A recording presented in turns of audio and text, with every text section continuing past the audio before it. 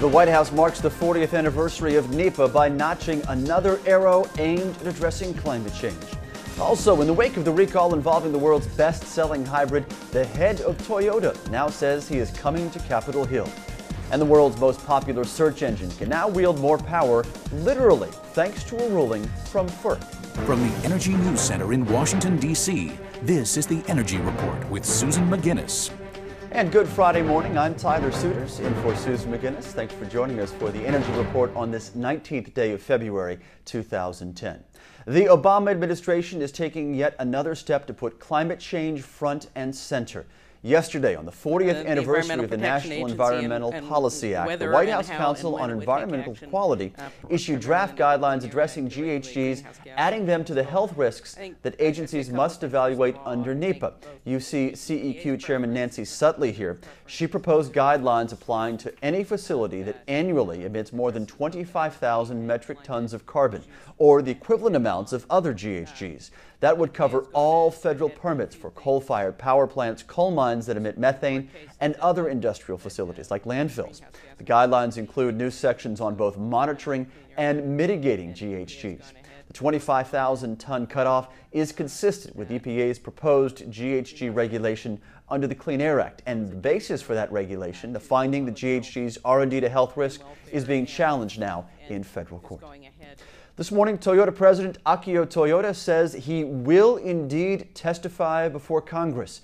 Roundly criticized for his handling of recalls, Toyota will appear before lawmakers next week to answer questions about the safety of his company's cars. More than 8 million vehicles worldwide, including the Camry and Prius hybrid, are now under recall. Toyota faces questions from three committees in Congress, starting with the House Energy and Commerce Committee. That will be on Tuesday. Investigators there have asked for documents related to the recalls, seeking information on how long the automaker knew of safety defects before actually taking action. The Federal Energy Regulatory Commission has now approved a request by Google to buy and sell electricity. FERC unanimously backed the search engine's application for, quote, market based rate authority. But the internet company isn't planning to use this new authority for retail purposes. Google has said its interest in power markets stems from a desire to manage its own energy supplies and also gain better access to renewable power.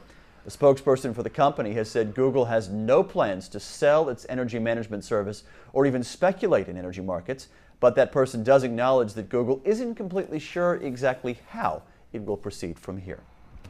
The question is why build new nuclear plants here in the U.S.? And the answer depends on whom you ask. But David Crane from NRG has a very simple answer, and that is electric cars. Yesterday at the Platts Nuclear Conference in the D.C. area, the CEO of NRG, you see him here, said he believes that electrification of transportation is coming and power companies must prepare for the new load. To that end, NRG is now planning two new reactors in Texas. Crane said short range will initially keep electric cars as niche urban vehicles and, quoting now, we want to electrify Houston, he says. He notes that companies in the U.S. and Japan are now stepping up production and says the trend in auto technology and electric use is unmistakable. Crane adds that new power should come from carbon free sources and building needs to start now. NRG is now working with Nissan to sort through potential infrastructure issues with an electrified vehicle fleet. That's where we caught up with David Crane in the video you just saw, meeting with him at a Nissan event in Los Angeles last fall. Also, from the Platts Nuclear Conference this week, industry executives delivered a clear message here in Washington. It is now time for U.S. manufacturers to start investing in the nuclear construction revival. This week, the Obama administration awarded the first loan guarantee for a new nuclear plant, and this is a look at preliminary construction underway at Southern Company's Vogtle plant outside Augusta, Georgia. And now the DOE has opened the door. Mike Wallace from Unistar says it's time for the private sector to step up. Asked how much of new projects like his Calvert Cliffs 3 would be sourced in the U.S., he said, quote, how much can we get? Existing nuclear plants were sourced primarily in the U.S., but as new building waned, much of that manufacturing capacity was shut down. So for now, the largest components for new plants must be sourced overseas. Wallace says Unistar recently held a pair of supplier conferences, and potential suppliers say they are ready to invest in new manufacturing capability, but they need to know it's real.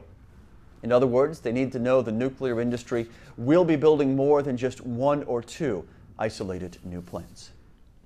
Energy Secretary Steven Chu says that the loan guarantee to Southern, announced earlier this week, is just the beginning. The administration is asking for $54.4 billion in loan guarantee authority that could enable seven to eight new nuclear plants here in the U.S.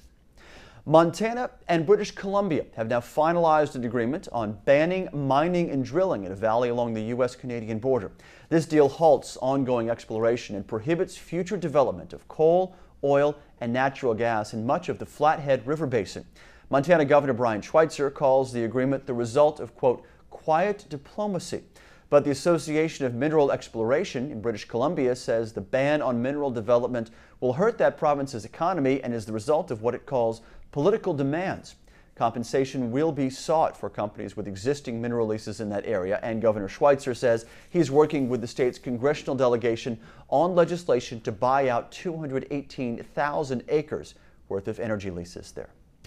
Well, icy cold weather has shut U.S. schools, even the federal government, in recent weeks. But in Canada, there's a different effect. It is shutting down wind farms. This is a look at what happened to a wind farm in Minnesota. And now Canadian Broadcasting reports the 33 turbine Caribou Wind Park in New Brunswick, Canada. It has now lost 20 days of operation because of blade icing. And you need to keep in mind this wind park has been open and online for only three months. The site manager says a colder winter would have been better as precipitation would have been snow and not ice.